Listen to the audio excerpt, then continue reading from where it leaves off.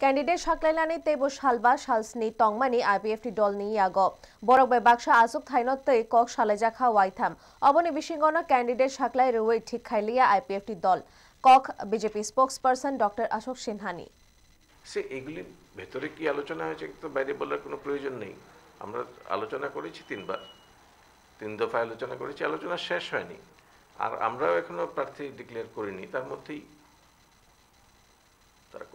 no AC what was the hurry নোটিফিকেশনও তো হয়নি এখনও। নোটিফিকেশন তো হয়নি এখনও। তাহলে আরও তো পাঁচ, সাত দিন সময় ছিল।